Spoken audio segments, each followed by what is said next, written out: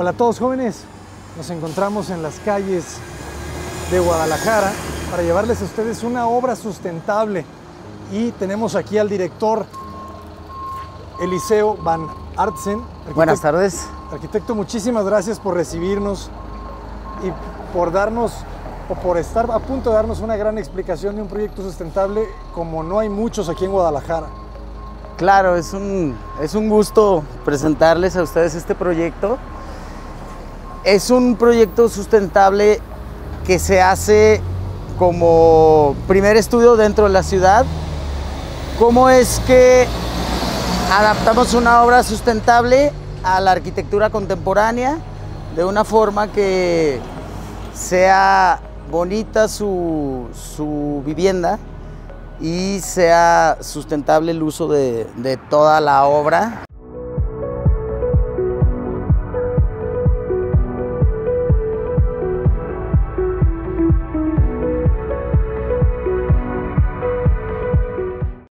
Cuanto a eh, aprovechar los recursos naturales, como son el agua, como son el sol, el viento, y también desperdiciar de una forma saludable todos los desechos orgánicos, eh, los usos de las aguas, reindicarlos a, sus correctos eh, separa, separaciones para, para después llevarlas a, a, reciclar nuevamente a la tierra. A que sigan su ciclo, ¿verdad? A que siga su ciclo y completar un, un ciclo que es, que es lo que compone lo que es el reciclaje. Esas tres flechitas que vemos que se cierran, pues cuando nosotros regresamos el agua nuevamente al planeta, limpia, es como cumplir con ese ciclo que, que, genera la vida, pues.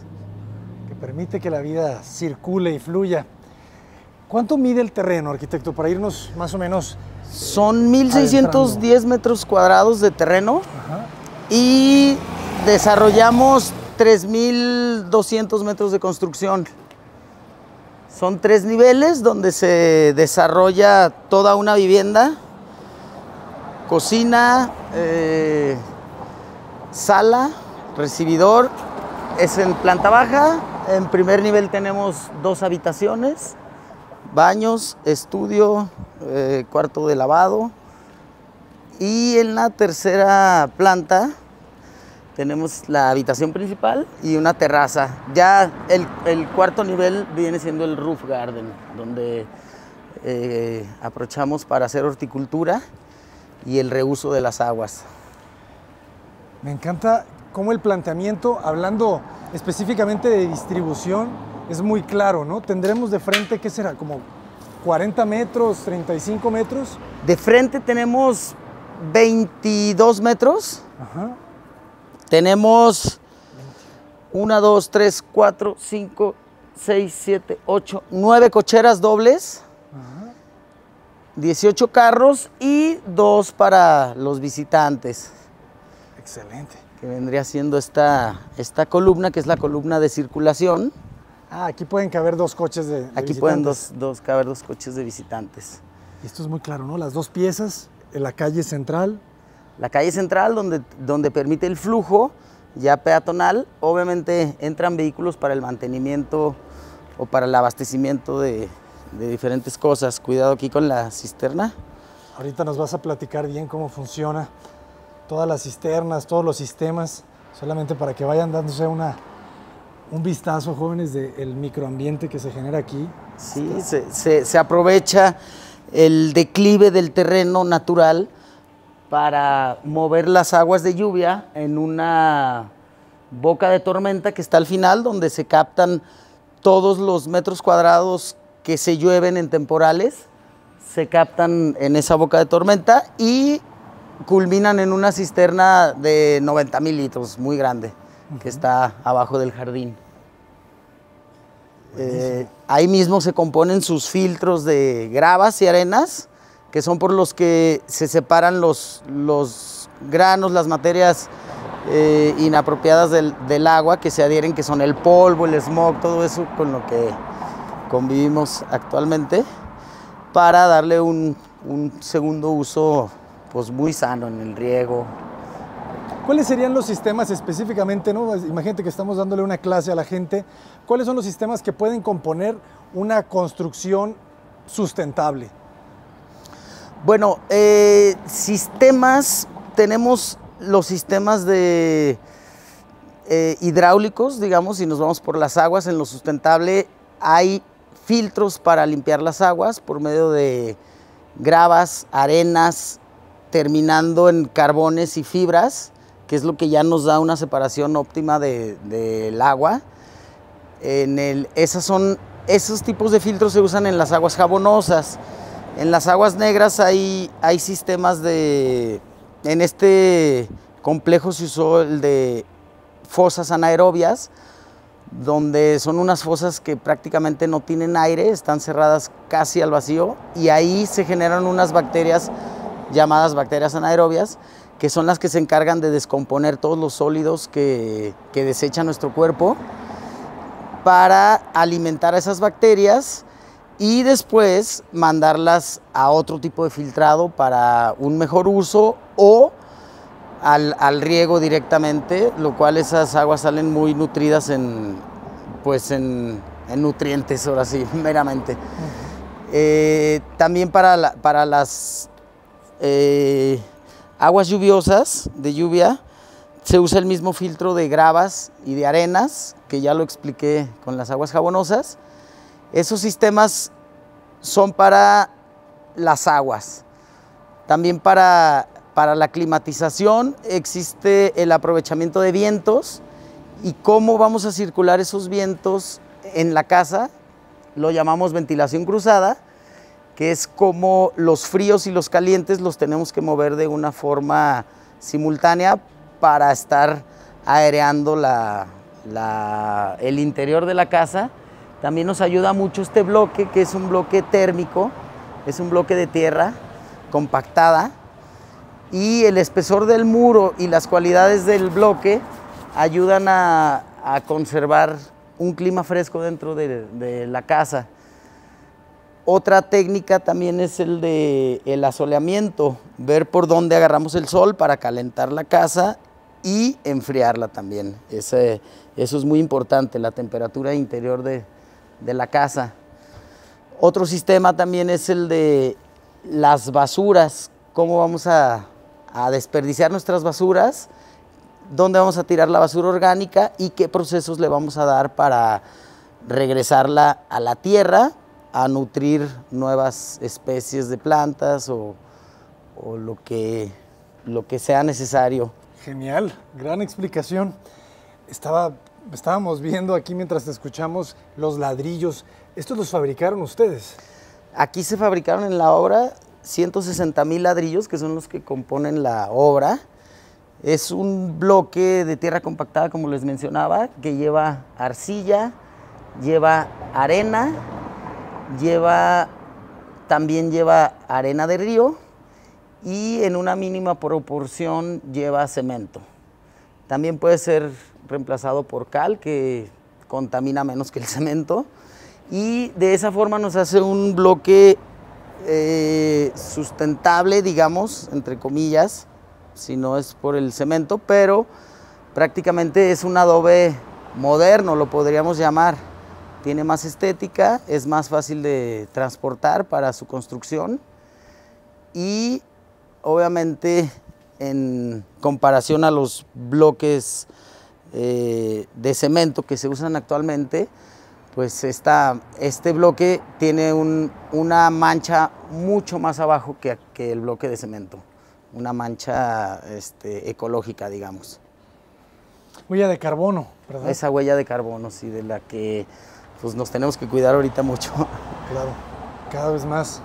El paisajismo también está genial, ¿ustedes lo hicieron? Sí, el paisajismo fue parte de... Eh, estas plantas se alimentan del mismo estanque. ¿En eh, serio?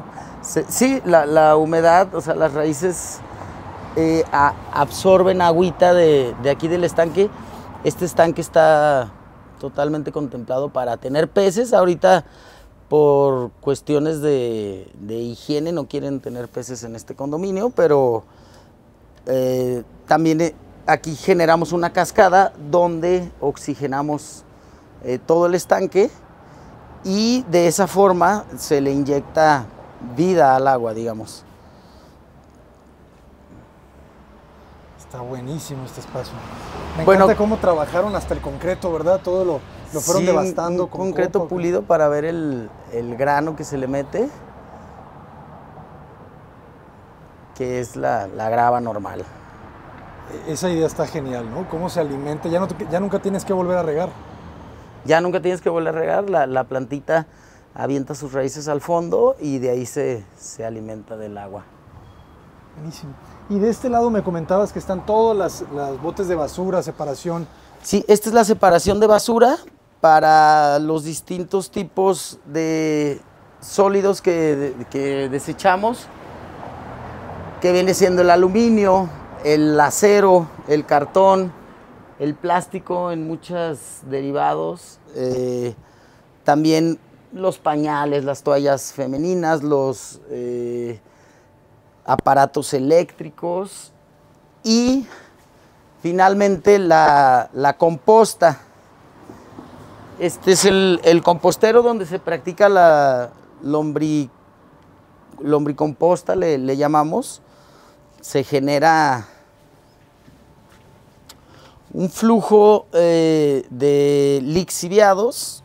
eh, aquí, aquí es donde se echa la basurita orgánica, tus naranjitas, tus pepinos, tu, todo eso que, que sea orgánico. Ah, pues lo echas aquí. Y esos, esos jugos que sueltan tus, tus verduras, tus frutos, eh, co- convergen en, en unos túneles aquí abajito y ahí tenemos la, la extracción de los lixiviados.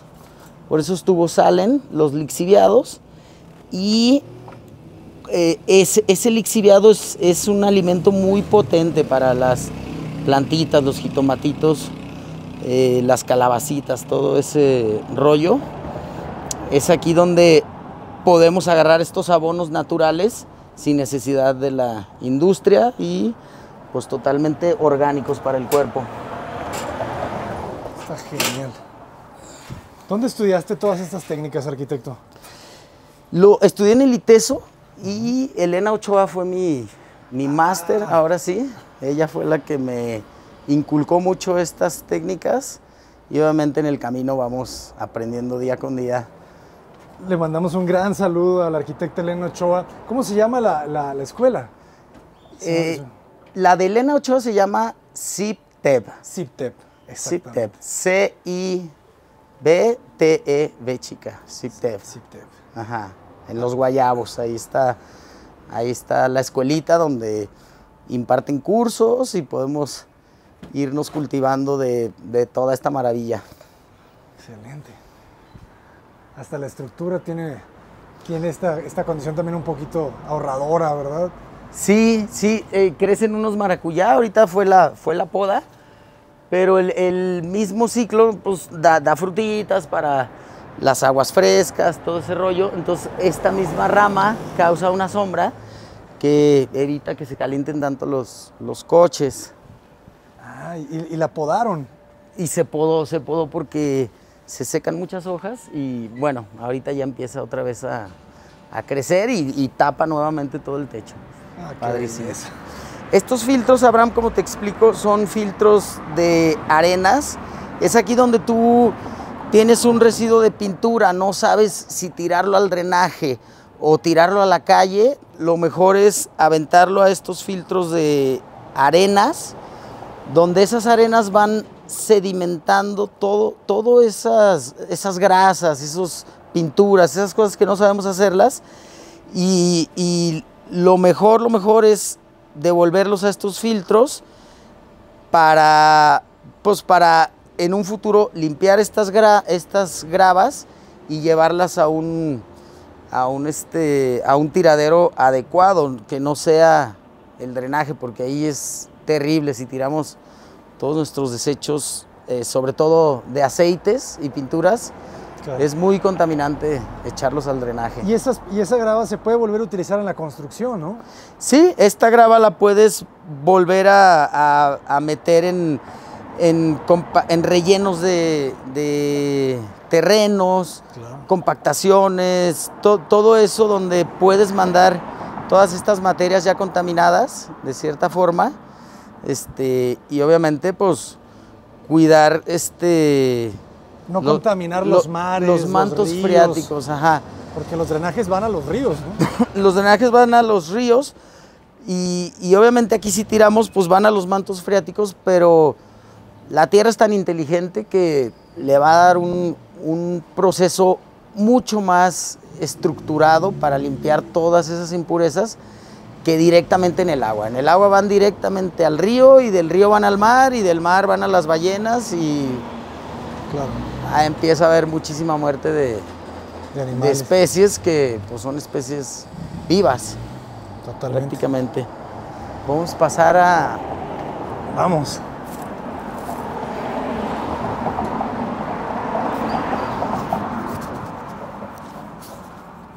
Sí, ya como cada bodega, como forma de almacenamiento, cuentan con una bodeguita, que es ahí donde metes tu, Bicicleta. tu bicicleta, metes tu aspiradora, tus cepillitos, tu herramienta, tu todo lo que sea necesario así para el coche, lo que te llevas de rápido. Mira, aquí vemos como el maracuyá, Ahí está. ahí está dando unos maracuyá padrísimos. Uf. Mira, podemos ver un maracuyá. Este, llévatelo a, a tu casita y lo pruebas. Muchas gracias. Vean nomás.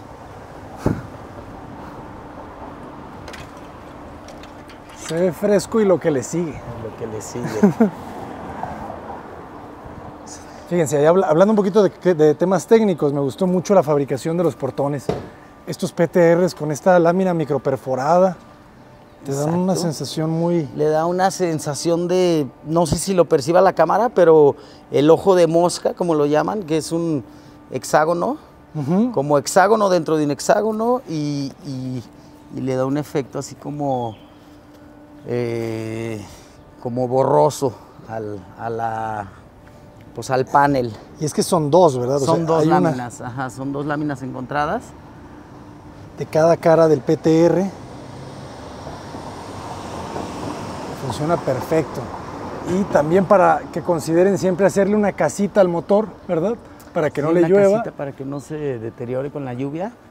Y esa losa que le permite pues, darle sombra también a todo, y- porque está estructural. O sea, esa losa, sí, claro, todas las vigas están soldadas a la losa, ¿verdad?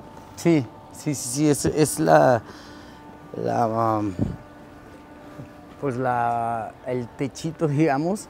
Arriba de esto iba una jardinera, pero decidieron parar el proyecto ahí. Una jardinera que lloviera ahí Uf, todas hubieras- sus plantas, iba a estar muy bonito, Total. pero decidió el cliente finalmente no proceder con, ese, con esa jardinera. Bueno, quedó, quedó muy bien, quedó sencilla. Y ya podemos imaginarla de este lado. Aquí hay una gran jardinera también, ¿no? Sí, esa, esa jardinera es, es, este, un acento aquí del, del- del muro para no tener un muro tan sobrio, tan, tan café. Entonces cuando la flor de la bugambilia avienta sus tonos rosados, se ve padrísimo aquí la, la, la jardinería mezclada con la arquitectura. Muy bien, muy bien, pues bueno.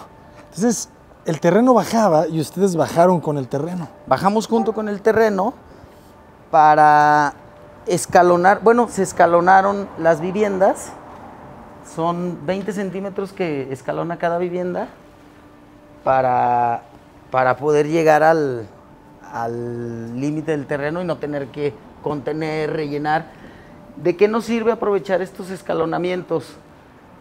Que el agua se mueve con gravedad. Si no tienes de un punto alto a un punto bajo, para mover tu agua y pasarla por esos filtros, eh, moverla naturalmente sin algún tipo de bombeo o algo, para eso nos sirve este, este declive natural del terreno, para nosotros ir moviendo nuestras aguas, darles la vuelta y regresarlas nuevamente a la calle, pero ya pasaron por un sistema de filtrado Ah, claro. eh, armonioso porque no se necesitó ninguna fuerza eh, de empuje eléctrica o pétrea, digamos, sino simplemente la gravedad. La gravedad es lo que nos va moviendo todo, todos estos ciclos de, de agua. ¿Y tienen como los filtros los tienen repartidos en distintos puntos o, o, todas las aguas van primero hacia adelante y después se regresan? ¿Cómo es ese sistema? Cada casa, ahorita vamos a pasar a una casa, cada casa tiene sus filtros individuales, uh -huh. que es donde, donde cada casa es cargo de, de, de su agua, de limpiar sus filtros, ahora sí, y convergen en una cisterna final. Podemos pasar a ver esta cisterna final para que tengan una idea. Entonces, todos esos vienen por este pasillo central y en esta cisterna que aproximadamente son 10 mil litros, dividida en dos, por un lado llegan las aguas jabonosas ya limpias y por el otro lado las aguas negras ya limpias, por el cual se extraen aquí en este cuadro de llaves bueno, aquí tú decides si tomas agua jabonosa, si tomas agua negra eh, o si tomas agua pluvial. Según la bomba que, que actives, es, la, es el agua que te, va, que, te van a, que te va a arrojar. Mira, esta es agua pluvial. Prácticamente sale limpia. Son de estas lluvias de esta temporada que todavía no terminan. Pero pues es el agua que se utiliza para el riego. Sí se utiliza un bombeo para, para ya sacar el uso, pero es mucho más eh, práctico tener el bombeo aquí que el que le pagamos al CIAPA, que es un bombeo inmenso para que llegue hasta tu casita. Entonces aquí cortamos todos esos procesos y directamente la usamos de, del almacenamiento. Excelente. Excelente. Entonces tienen, que, tienen una tubería específica para aguas jabonosas en, todos los en todas las casas. Una para aguas jabonosas, que es la que nos cubre regaderas, lavamanos, tarja de cocina. Esas son las jabonosas. Eh, las negras pues son todos los WCs, únicamente WCs. No se cuenta con mingitorios más que en área común pero el WC es el que va directo a las aguas negras y el agua de lluvia es la que se capta de las terrazas y azoteas de cada casa que convergen aquí al final del predio en una cisterna muy grande que está enterrada. Esa cisterna se tuvo que hacer de ferrocemento porque no la vendían en la industria. Entonces una técnica de, de malla entretejida y después con zarpeo de, de, arena con cemento, se va formando pues esta gran esfera eh, que, que, va enterrada en la, eh, bajo la tierra. Excelente. Me encanta esta calle. ¿Cuánto mide? Cuatro metros tenemos de lado a lado. Ok, súper. Suficiente, ¿verdad? Entra la Suficiente, luz. Suficiente, porque fíjate, la, la teníamos, Abraham, en tres metros y ya el estudio de luces ya no nos daba, ya, ya se oscurecían los pasillos interiores. Uh -huh. Entonces sí hubo que sacrificar un metro de, de, espacio útil en la casa, pero en su totalidad la casa quedó muy cómoda con los 72 metros que tiene en cada casa de, de terreno de desplante. Si contamos el, el techo verde, tenemos aproximadamente 245 metros de espacio habitable en cada casa lo cual lo hace una casa grande para estos tiempos. No, efectivamente.